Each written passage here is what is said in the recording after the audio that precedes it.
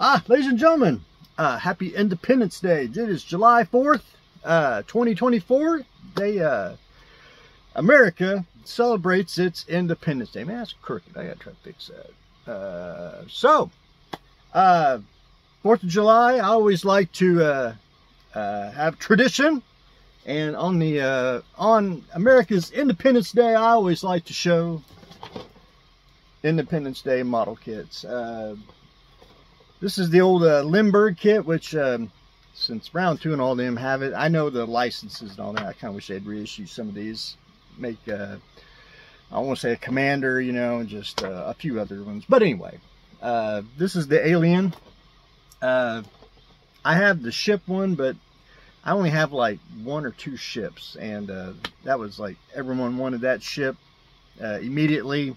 And that was gone. And I built one and it's buried somewhere. However, I do have a bunch of the alien ones because they were uh, marked down at a place called the Half Price Store many, many, many years ago. And uh, I bought all they had. And uh, I like the kit. I think it stands up uh, uh, a really good model. I really think it builds up great. And uh, it's just one of those kits that you just don't see.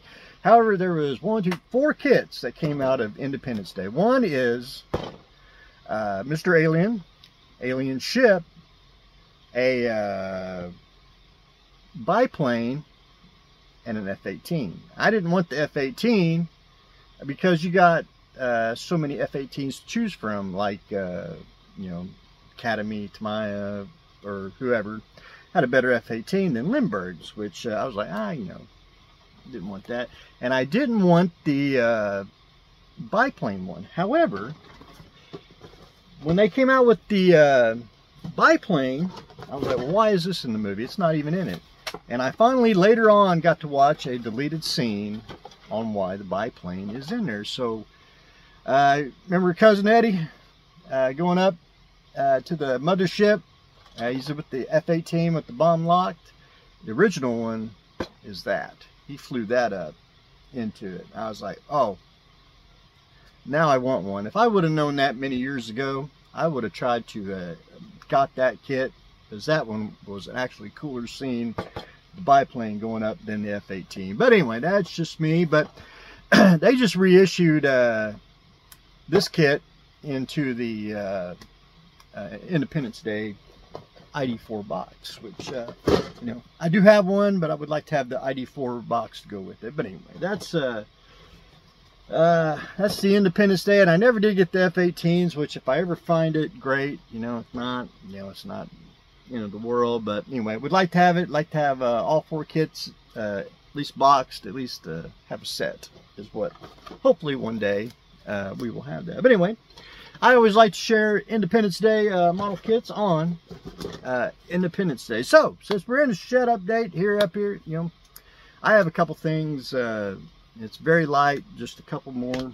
And uh, one is, uh, since you get an unexpected day off, you know, you do uh, travel the uh, model craft stores and everything. And uh, I picked up the T-Rex bank. It was really cheap. And uh, I had to go looking here. I, I thought I had one, but wasn't quite sure. But now I have two, which is the way we like to work inside the Ark. I like these pretty much like a paint by number. I like the vinyl kits. I think they, uh, I think they're really a good painting tool, and they do paint up into a nice desktop model. I know they're not, you know, uh, I want to say three-dimensional, you know, because they're connected to a base, you know, but I think they really, and I have very fond memories, and, uh, I'll, well, let me say this.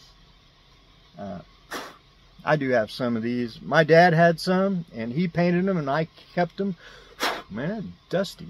And uh, I painted on them too, you know, so we kind of did a combo thing. And uh, that's original paint job from the early, early years. And uh, I keep stuff like that. I like these because it's just stuff you just don't see. And uh, I know they don't make model kits, you know, that you put together with the, you know, stuff like that. But at least you can have uh, I had very fond memories painting stuff like that, so I try to pick these up and uh, add them to uh, the Ark. So, ladies and gentlemen, on the 4th of July, it's a lot of uh, me coming in here and uh, trying to put up because you get an unexpected day off and uh, got to get the workbench cleaned off because got, you know, just trying to get everything accomplished, you know, try to get stuff uh, put up and everything. But I did manage to buy, and uh, a little story here. Uh, I have a pinball machine for the Ark. The, the Ark's first pinball machine and uh, 124 scale. It's an all resin kit. Uh, I know it's by AK, but it's also, I don't know the company, Doozy. So I want to have do a little, I got to do a little research. I don't know if Doozy's company, AK with them, or that's an AK subsidiary, you know, I got to do a little uh, research on that. But anyway, one of those uh, kits that I uh, I was excited. You know, most everybody's you know getting their uh, airplane kit, tank kit. Yay! Look what I got. Me. Uh, pinball machine. But anyway, uh, hobby store um, got this uh, about two or three years ago, and I've been uh, been waiting them out and uh, waited, waited, waited, and finally they went ahead and marked it down, and I uh, scooped it up. I was ecstatic to get it, and uh, it's just one of those. I know a lot of people, you know, really don't care, but I think that is just cool. You know, odd. You know, you got a pinball machine now. Got Coca-Cola uh, vending machines and all that good stuff. So you know, just add to it. But anyway, uh, I like stuff like that. But anyway, ladies and gentlemen, that's what I've got going on today.